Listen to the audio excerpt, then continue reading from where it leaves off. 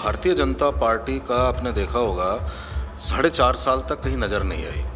जनता से टूटी हुई थी आपस में लड़ाई थी कोई माइक खींच रहा है कोई पोस्टर से बाहर निकाल रहा है। जनता आंदोलन कर रही है भारतीय जनता पार्टी एक आंदोलन नहीं कर पाई। योजनाएँ जो लेकर आए थे महँगाई राहत कैंपों का दौरा तक करने नहीं पहुँचे हैं उस पर क्या कहेंगे?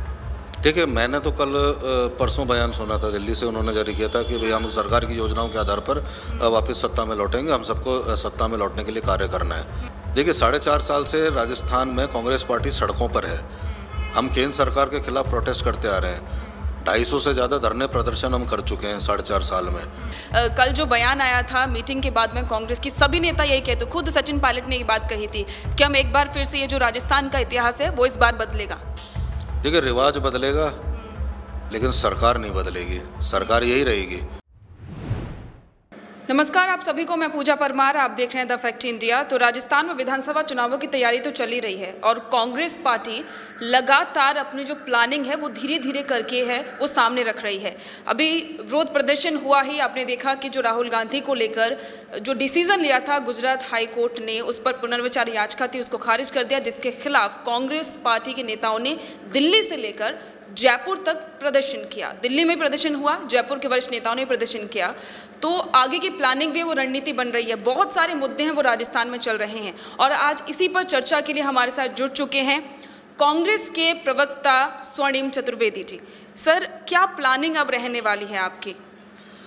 देखिए चुनावों को अगर आप देखें तो चुनावों में राजस्थान में दो मुद्दे हैं। एक मुद्दा तो यह है कि जो केंद्र की मोदी सरकार है जिसने महँगाई और बेरोजगारी के बोझ तले जनता को दबा रखा है। दूसरी ओर अशोक गहलोत सरकार है, जो लगातार महँगाई से बचाने के लिए और राहत देने का कार्य कर रही है। चाहे पाँच सौ रुपये में गैस सिलेंडर हो, सौ यूनिट बिजली फ्री हो, किसानों को दो हज़ार यूनिट बिजली फ्री है, पच्चीस लाख रुपए तक का इलाज है। महिलाओं के लिए पचास परसेंट किराए में छूट है। इस तरह की अनेकों योजनाएँ हैं बड़ी बड़ी योजनाएँ हैं, जिनसे लोग लाभान्वित हो रहे हैं। तो जनता ये देख रही है और जनता के मन में ये विचार भी और प्रश्न है जो सबके सामने आता है। वो ये आता है कि अगर अशोक गहलोत सरकार इस तरह के लाभ दे सकती है। तो मोदी सरकार क्यों नहीं? मोदी सरकार क्यों पाँच सौ रुपये में गैस सिलेंडर नहीं दे सकती है? पेट्रोल, डीजल, रसोई गैस के दाम लगातार बढ़ाए जा रहे हैं, जबकि अंतर्राष्ट्रीय बाज़ार में कच्चे तेल के दाम कम ही हुए हैं, फिर भी बढ़ रहे हैं। तो इसका मतलब जनता को लूटने का काम हो रहा है। इस लूट तंत्र के खिलाफ जनता वोट करेगी और यहाँ पे जो गुड गवर्नेंस है, उसको लेकर के राजस्थान में वोट होगा। सर, लोगों की शिकायतें भी बहुत आती हैं महँगाई राहत कैंपों को लेकर। तो उनके निराकरण के लिए कोई प्लानिंग की है कांग्रेस पार्टी ने? देखिए, सबसे बड़ी बात है कि जो लोगों की शिकायत थी महँगाई के खिलाफ, उसका निराकरण करने के लिए महँगाई राहत कैंप लगाएँ। और महँगाई राहत कैंप में यदि कोई प्रॉब्लम आती है, कोई त्रुटि को लेकर के या किसी प्रक्रिया को लेकर के तो उसके लिए हमने एक टोल फ्री नंबर भी जारी किया है। और अब हमारे काफ़ी जो कांग्रेस के कार्यकर्ता हैं, अधिकांश कैंपों में आप देखेंगे कि हमारे कांग्रेस के वर्कर जो हैं, वो वहाँ पर आपको मिलेंगे। वो ट्रेंड हैं, उनको पता है क्या करना है, किस तरह से, किस योजना का लाभ किस व्यक्ति को मिल सकता है। ये दिखाते हैं, उनके बैठ के उनको कोई परेशानी वहाँ पे खड़े रहने में, पानी पीने की या बैठने की कोई अगर समस्या उसका भी निराकरण करते हैं। तो लगातार कांग्रेस पार्टी काम कर रही है। ये एक तरह से आप देखेंगे, सत्ता और संगठन का समन्वय है। राहत दे रही है सरकार और राहत देने वाले जिनको राहत मिलनी चाहिए, वो वंचित ना रह जाएँ और उन्हें कोई परेशानी ना हो। इसका ध्यान रखते हैं हमारे पार्टी के कार्यकर्ता। ठीक है। अभी राजस्थान के विधानसभा चुनावों की पूरी तैयारी चल रही है। बीजेपी बहुत से मुद्दे उठा रही है। पेपर लीक का मुद्दा हो गया महिलाओं की सुरक्षा का मुद्दा हो गया करप्शन का मुद्दा हो गया। कांग्रेस के क्या मुद्दे रहने वाले हैं? और ये जो बीजेपी की ये जो वार जो लगातार हो रहे हैं उनके पलटवार में कांग्रेस की क्या प्लानिंग चल रही है? देखिए आप एक चीज़ देखिए भारतीय जनता पार्टी का आपने देखा होगा साढ़े चार साल तक कहीं नज़र नहीं आई। जनता से टूटी हुई थी, आपस में लड़ाई थी, कोई माइक खींच रहा है, कोई पोस्टर से बाहर निकाल रहा है, कोई भाषण देने के लिए पूर्व मुख्यमंत्री को नहीं बुला रहा है, ये लड़ाई है इनकी। अब इनके यहाँ समस्या ये है कि साढ़े चार साल निकल गए छः साल में जनता से कैसे कनेक्ट करें? तो अनर्गल मुद्दे उठा रहे हैं। आप बताइए, अगर पेपर लीक का प्रकरण दो साल पुराना, तब तो कोई आंदोलन कर नहीं पाए। आज पेपर लीक पेपर लीक कह रहे हैं, जबकि पेपर दोबारा होकर के लोगों को नौकरियाँ मिल चुकी हैं। करप्शन का मुद्दा उठाते हैं, करप्शन का मुद्दा इसलिए उठाते हैं कि कर्नाटक से लेकर के इनकी जितनी सरकारें, हरियाणा की सरकार है, मध्य प्रदेश की सरकार है, गुजरात की सरकार है, करप्शन के केसेस लगातार बढ़ रहे हैं और जनता उससे त्रस्त है।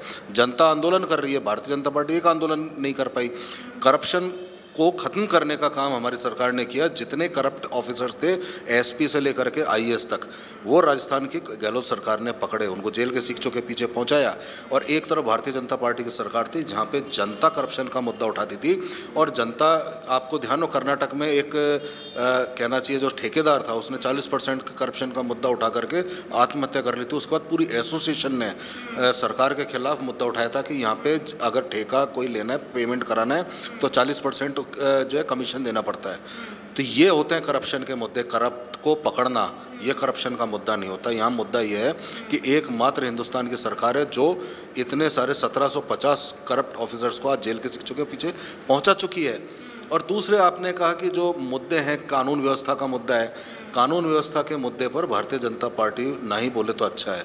भारतीय जनता पार्टी की उत्तर प्रदेश में सरकार है, मध्य प्रदेश में सरकार है। महिलाओं के विरोध में मतलब उत्पीड़न के जो सबसे ज़्यादा केस हैं, इन्हीं स्टेट्स में दर्ज होते हैं। और यहाँ तो आप सबसे बड़ी बात देखिए, बीजेपी गवर्नमेंट में दो सौ बहत्तर दिन लगते थे एक रेप केस में, इन्वेस्टिगेशन में औसतन। कितना लंबा समय होता है? कब न्याय मिलेगा? आज बावन दिन में पुलिस इन्वेस्टिगेट करके जेल के शिक्षों के पीछे लोगों को अपराधियों को पहुँचा रही है। इसी तरह के अगर आप मामले देखें कि 35 परसेंट केस बीजेपी शासन में जो महिलाओं के उत्पीड़न के थे, रेप केसेस थे, वो कोर्ट के द्वारा दर्ज होते थे। यानी कि उनको एक केस दर्ज भी नहीं करती थी पुलिस, भाजपा शासन में। आज न्याय मिल रहा है, न्याय दिलाने का काम किया संवेदनशीलता के साथ भारतीय जनता पार्टी जब ये मुद्दे उठाती है तो केवल इसलिए कि बयान दे दिया। सुर्खी में आ जाए कि नाम याद रहे लोगों को। उनको भी पता है आने वाले पाँच साल तक तो। हम्म। पाँच साढ़े पाँच साल जो बचे हैं उसमें बीजेपी की सरकार तो छोड़िए सरकार के ये बड़ी मुश्किल से ये नेता जीतने वाले हैं। कुछ अगर दो चार पाँच जीतेंगे तो। ऐसी परिस्थिति है। हाँ। सर गुटबाजी की आपने बात की बीजेपी की मुद्दों की बात की लेकिन कांग्रेस में भी राजस्थान में खूब गुटबाजी की खबरें उठी हैं। आप जानती हैं सचिन पायलट अगर देखा जाए तो पेपर लीक का मुद्दा तो उन्होंने भी उठाया था इवन मुआवजे की मांग तक उन्होंने कर दी थी। तो उस पर क्या कहेंगे? देखिए राजस्थान में जितने मुद्दे हुए उन मुद्दों का निराकरण हुआ है। ये राजस्थान की संवेदनशील सरकार है इस कारण से हो पाया। एकमात्र राज्य है जहाँ पे हमने पेपर लीक करने वालों के खिलाफ कड़ा कानून बनाया जिसमें 10 करोड़ रुपए तक के उनसे जुर्माना लगाने के भी प्रावधान है। अब आजीवन कारावास का प्रावधान ला रहे हैं। इसके अलावा ऑर्गेनाइज क्राइम के खिलाफ कार्रवाई कर रहे हैं। अभी आपने दो दिन पहले सुना होगा, दिल्ली में स्टेटमेंट जारी हुआ, हमारे सारे नेताओं ने कहा, एकमात्र ध्येय है, दोबारा सरकार लाना। ये चाहे कार्यकर्ता हो, चाहे नेता हो, सबका ध्येय अभी और कोई ध्यान नहीं है। भारतीय जनता पार्टी में आपने देखा भी, लगातार इनकी तीन सभा हुई। केंद्रीय मंत्रियों ने आए थे, केंद्र सरकार की उपलब्धियाँ लेने। पूर्व विधायक को एक वर्तमान केंद्रीय मंत्री के इशारे पर बोलने नहीं दिया गया, उसका हाथ से माइक छीन लिया। उसी की कॉन्स्टिटेंसी में। हमारे तो नहीं होता ऐसा। वसुंधरा राजे जी के सम्मेलन करती हैं, उसमें कोई बीजेपी का प्रतिनिधि नहीं पहुँचता। जोधपुर जाती हैं, वहाँ पे ये कहा जाता है कि भाई ये बीजेपी का सम्मेलन नहीं है, इसमें मत जाओ। ये अपील जारी कौन करता है? बीजेपी का सांसद। सतीश पुनिया इनके प्रदेश अध्यक्ष थे, जयपुर में प्रोटेस्ट करते हैं और वो अपना जन्मदिन कहीं और मना रही होती हैं। ये सारी चीज़ें सतीश पूनिया जी जोधपुर जाते हैं, पैदल मार्च निकालने के लिए, वहाँ पर उनको मना कर दिया जाता है कि पैदल मार्च ना निकालें। ये गुटबाजी के तो यही सिंबल हैं। हमारे ऊपर तो आरोप लगाता है बीजेपी वाले तीन महीने में सरकार गिर जाएगी छः महीने में सरकार गिर जाएगी अब राज्यसभा चुनाव में सरकार गिर जाएगी। क्या हुआ? भारतीय जनता पार्टी अपने घुटनों के बल गिर गई। आज स्थिति यह है कि जो आखिरी उपचुनाव हुआ था वहाँ पे भारतीय जनता पार्टी की जमानत जब्त हुई जबकि उस सीट पर आम चुनाव में बीस हज़ार वोट से जीते थे। सर अभी जैसे जो भी अभी बातचीत हुई कांग्रेस में भी ऐसा नहीं है क्योंकि दिखाई तो दिया था खुद मुख्यमंत्री अशोक गहलोत ने धौलपुर में सभा के दौरान ये बयान दिया था कि कांग्रेस के हमारे ही कुछ विधायक ने अमित शाह से पैसे ले लिए थे 10 से 20 करोड़ की बात उन्होंने कही थी। तो उन्होंने साथ में ये भी कह दिया था कि ठीक है मैं लौटा दूँगा अगर कुछ थोड़े बहुत खर्च कर दी हो तो उस पर क्या कहेंगे? देखिए मैं तो आपको एक चीज़ बता रहा हूँ आज की तारीख में ऑल इज़ वेल सब साथ हैं सब सही हैं कांग्रेस को जिताना है कांग्रेस को जिताने के लिए काम करना है अब सबका यही ध्येय है। आप किसी भी नेता से पूछ लीजिए वो एक ही बात कहेगा एक कार्यकर्ता एक ही बात कहेगा कि हमें चुनाव जीतना है।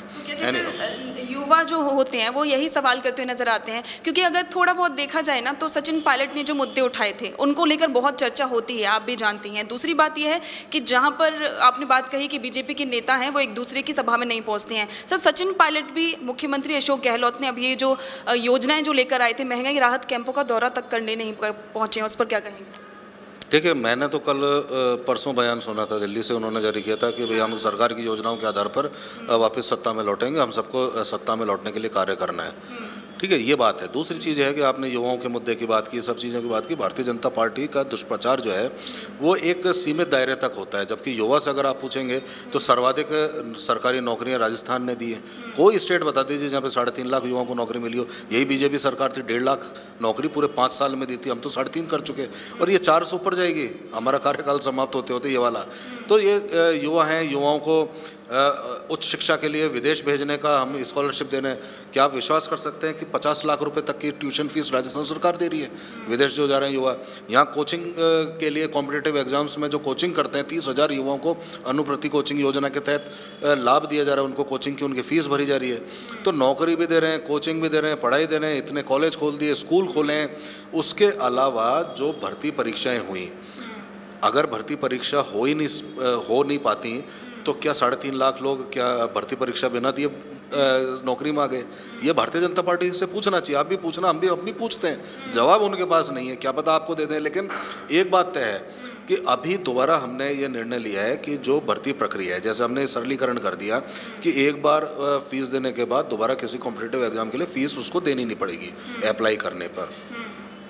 बहुत सारे ऐसे जो परीक्षाएँ हैं या पद हैं जिनके लिए इंटरव्यू भी नहीं देना पड़ेगा।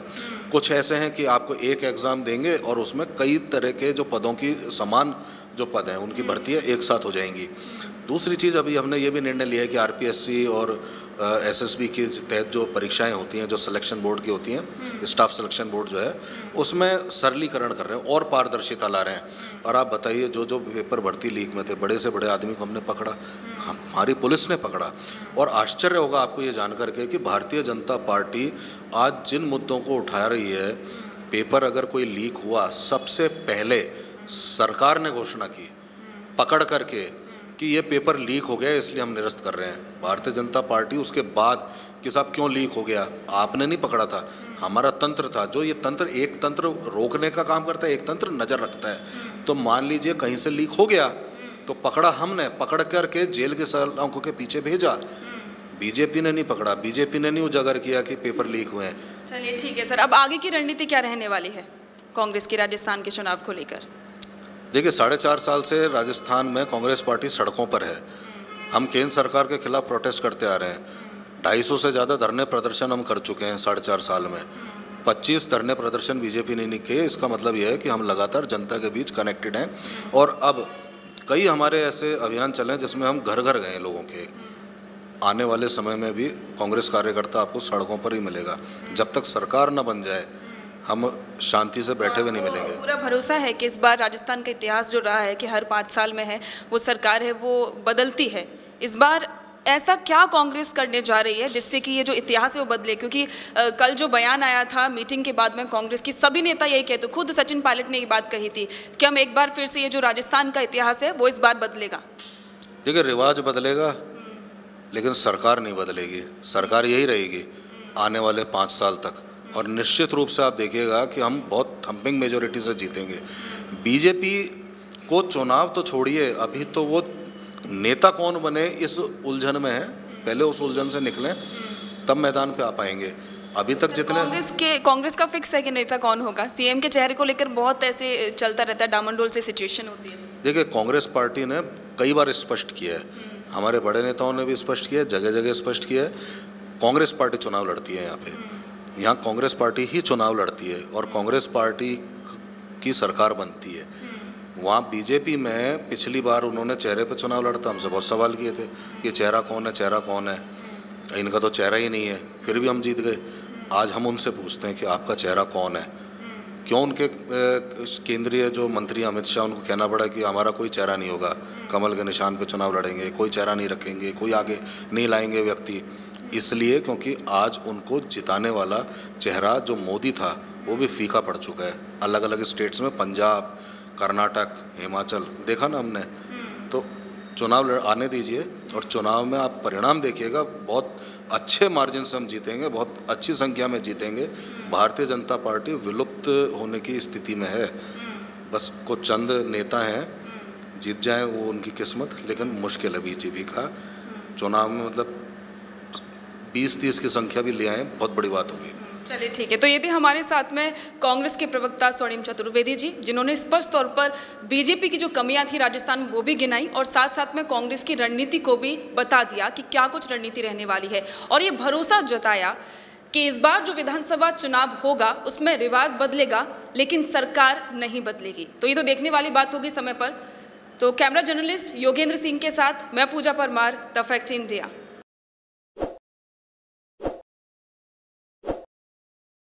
ताज़ा खबरों के लिए विज़िट करें द फैक्ट इंडिया की वेबसाइट और डाउनलोड करें द फैक्ट इंडिया ऐप।